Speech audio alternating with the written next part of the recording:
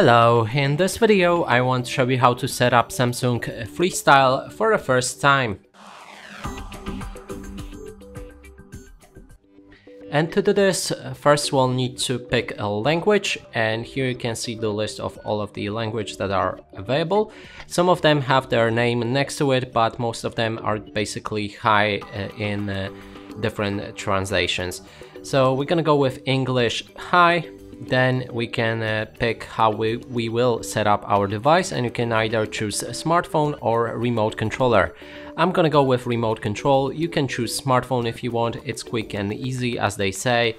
So anyway, let's go with remote control. Then we can select our usage mode with home mode or retail mode. In this case, we're gonna go with home mode because we'll be using it in our house and uh, in retail mode, that's basically mode if you own a store or something and you just want to display this device so that people can see how it's uh, how it works. Now, uh, next thing is to choose our Wi-Fi network and I'm gonna go with uh, this one, it's already connected.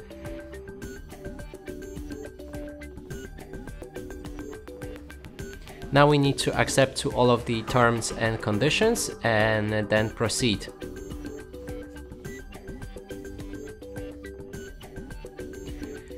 It will check for any updates if they are available for this device and if they are probably it will automatically download them so give it a few minutes. Or actually we can skip it so let's skip it now because I don't uh, need it I just want to show you the setup.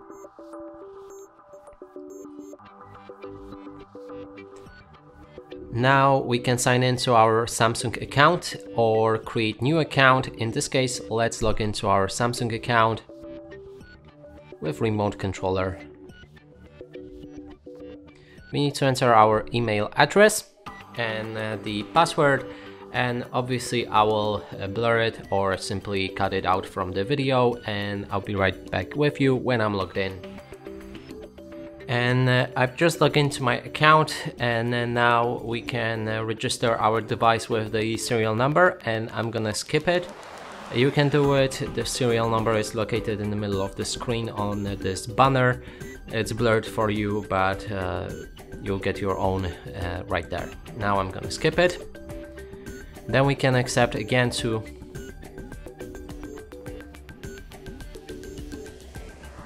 Then we can again agree to some of the stuff like general information, home screen, whatever, let's skip it. And it's the setup is finished. Okay, Bixby voice assistant, I'm gonna skip it, I don't want that, you can set it up if you like. And our device is ready. And that's it for this video, hope you like it, please consider subscribing to our channel, leave like and a comment below.